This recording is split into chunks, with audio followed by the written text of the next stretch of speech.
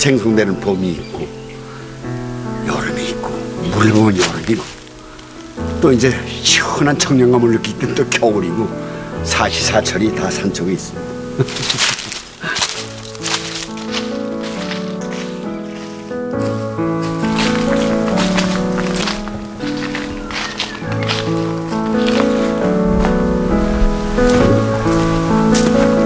다 왔을 텐데 이렇게 안 나타나네 녹초밭이.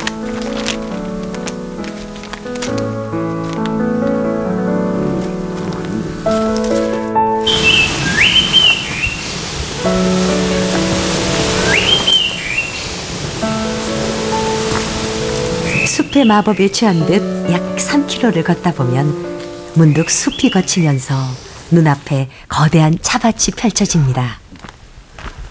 이 어두운 터널을 뚫고 나오니까 이렇게 시원하게 이 차밭이 펼쳐져 있네요.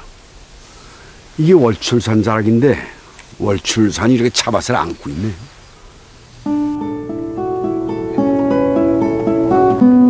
평지산인 월출산은 다른 산에 비해 실제보다 훨씬 더 웅장해 보입니다. 또한 병풍처럼 밭을 감싸고 있어 차를 재배하기엔 그만입니다. 이 차밭은 키가 큰 놈이나 적은 놈 없이 이렇게 골고루 있어서 좀 차밭이 좋네.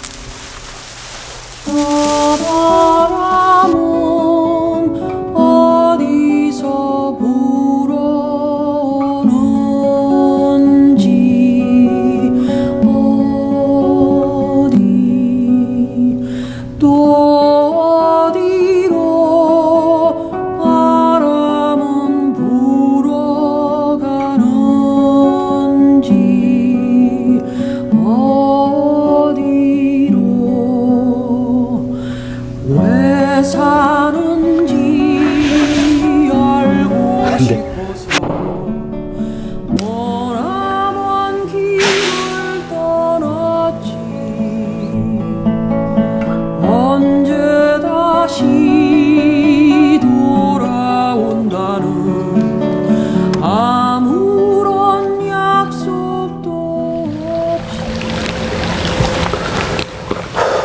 여정의 마지막은 월출산 누리째. 아이고 물이 막네.